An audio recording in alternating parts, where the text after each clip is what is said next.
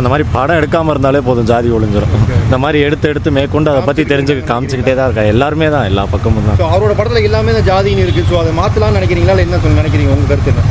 அவர் வந்துட்டு அதில் கொஞ்சம் மாடல் பண்ணலாம். ஃபுல்லாக பண்ணணும்னு அவசியம் இல்லை. ஒரு படத்தில் கொஞ்சம் மாற்றலாம் மாற்றினா நல்லா இருக்கும். மாற்றலாம் ஃபுல் படமும் ஜாதி இல்லாமல் கொஞ்சம் கேஸ்ட்டை லைட்டாக மென்ஷன் பண்ணிட்டு மற்றபடி நல்ல கதை எடுக்கலாம் ப்ரோ கதை வந்து ஒரு மாதிரி இழுத்துட்டே இருக்க மாதிரி ஃபுல்லாகவே கேஸ்ட்டாகவே இருக்கனால கொஞ்சம் ஸ்லோவாக போகிற மாதிரி நட்சத்திரம் நகர் இருக்கிறது எப்படி இருக்குது படத்தில் ஒரு கண்டென்ட்டே இல்லை ப்ரோ அவ்வளோதான் ஃபுல்லாக கேஸ்ட் கேஸ்ட்னு இருக்கிறாங்க.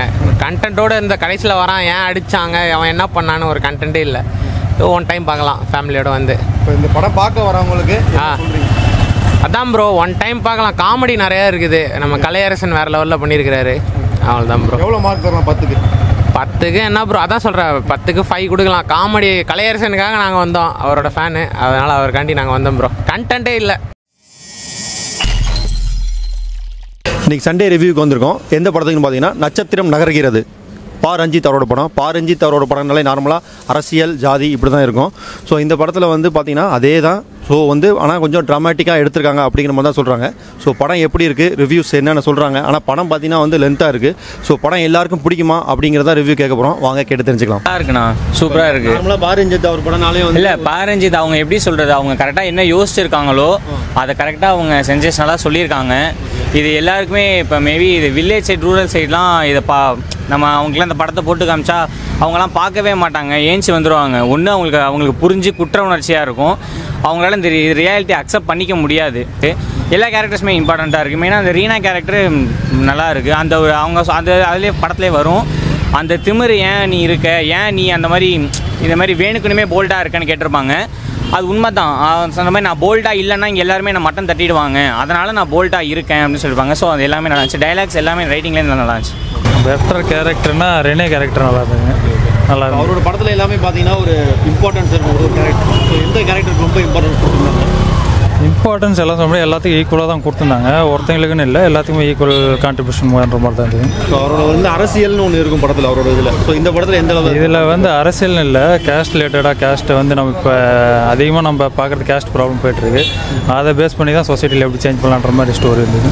படம் நல்லா இருக்கு. கான்செப்ட் கொஞ்சம் புதுசாக தான் இருக்கு. எல்லாருமே நல்லா நடிச்சிருக்காங்க ப்ரோ கான்செப்ட் எல்லாம் புதுசாக தான் வருது ப்ரோ பார்க்க வேண்டிய மாதிரியே இருக்கா? அவரோட படம் அந்த கேஸ்ட்டுங்கிறத சொல்லி தான் சொல்லியிருக்காங்க. பட் நல்லா தான் இருக்கு ப்ரோ ஒன்றும் அவ்வளோ டீப்பாக சொல்லி இது மென்ஷன் பண்ணல பட் நல்லா இருக்கு. கேஸ்ட்டை பற்றி எடுத்திருக்காங்க ப்ரோ பார்க்கலாம் ப்ரோ அந்த அந்த கேஸ்ட்டில் உள்ளவங்களை டாமினேட் பண்ணி இது பண்ணிக்காங்க நல்லா இருக்கு. ஓரளவுக்கு இருக்கு. குறிப்பிட்ட ஜாதியினர் இது பண்ணி எடுத்திருக்காங்களா படம்? ஸோ அவங்க பார்க்கும்போது எப்படி இருக்குன்னு நினைக்கிறீங்க? ப்ரோ கரெக்டாக தான் ப்ரோ சொல்லியிருக்காங்க. தப்பாக எதுவும் சொல்லல. Okay okay. அதனால பார்க்குறப்ப எதுவும் தெரியாது ப்ரோ இப்போ இப்போ வந்து இவ்வளோ காலகட்டத்துக்கான ஜாதி ஜாதி தான் சொல்லிட்டு இருக்காங்க ஸோ அதை பார்க்குறவங்களுக்கு எப்படி இருக்குன்னு நினைக்கிறீங்க? படம் பார்க்குறவங்களுக்கு? ப்ரோ நம்ம இந்த மாதிரி சென்னை சிட்டியில் உள்ளவங்களை இப்போல்லாம் நடக்கிறது இல்லை ப்ரோ மற்றபடி அந்த சைட்லாம் நடக்கிறது நடக்குது தான் அவங்க பார்த்தாங்கன்னா கொஞ்சம் இதுவாகுவாங்க ப்ரோ படம் நல்லா இருக்கு. ஆக்சுவலி வந்து இந்த படம் வந்து இந்த இந்த ட்ராமா இந்த மாதிரி ஆர்டிஸ்ட் இவங்களுக்கு தான் பார்த்தீங்கன்னா இந்த மாதிரி செட் ஆகும். நார்மலாக மூவி மாதிரி இருக்காது. இது வந்து பார்த்தீங்கன்னா இந்த ஃபுல்லாகவே பார்த்தீங்கன்னா வேறு மாதிரி இருக்கும். ஸோ இது வந்து படமே பார்த்தீங்கன்னா லவ் லவ் பற்றி தான் படம். ஸோ எல்லா ஜெண்டரில் லவ் இருக்கும். ஸோ அதை தான் வந்து ஃபுல்லாக ப்ரீஃபாக கொஞ்சம் சொல்லியிருப்பாங்க. கேஸ்ட்டை பற்றி பேசியிருப்பாங்க.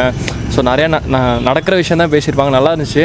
கொஞ்சம் ஸ்லோவாக இருந்தனால வந்து எல்லாருக்கும் கொஞ்சம் போர் அடிக்கலாம். மற்றபடி நல்லா இருந்துச்சு ப்ரோ ஸோ இந்த படம் எல்லாருக்குமே பிடிக்கும்னு நினைக்கிறீங்களா? இல்லை இல்லை எல்லாருக்கும் பிடிக்கும்னு சொல்ல முடியாது. ஏன்னா ஸ்டார்டிங்லேருந்தே பார்த்தீங்கன்னா ஸ்லோவாக தான் ஆரம்பிக்கும். ஸோ ஸ்டார்டிங் வந்து ஸ்டார்டிங் அந்த நாடகம் வந்து அவங்க வந்து ஃபஸ்ட்டு ஸ்டார்ட் பண்ணுவாங்க. ஸோ அதுலேருந்து முடிகிற வரைக்கும் ஃபுல் ப்ராசஸ் வந்து சொல்லுவாங்க. ஸோ அதனாலே பார்த்தீங்கன்னா ஸ்லோவாக இருக்கிற மாதிரி இருக்கும். பட் நல்லா இருந்துச்சு. ஸோ நார்மலாக பாரஞ்சித் அவர் படம்னாலே வந்து அரசியல் ஜாதி இப்படிலாம் இருக்கும். ஸோ இந்த படம் எப்படி இருக்கு? அதே மாதிரி தான் ஆனால் பரவாயில்ல நல்ல மெசேஜ் சொல்லியிருக்காங்க.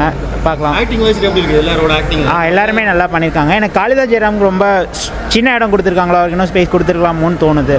ஸோ நார்மலாக எல்லா படத்துலையுமே பார்த்தீங்கன்னா லாஸ்ட்டாக அவர் இருக்க இறந்துற மாதிரி தான் இருக்கும். ஸோ இந்த படத்தில் எப்படி இருக்காரு உங்களுக்கு இருக்காரா இல்லை கடைசியாக ஒரு மெசேஜ் சொல்லியிருக்காங்க. எல்லாரும் கண்டிப்பாக பாருங்க.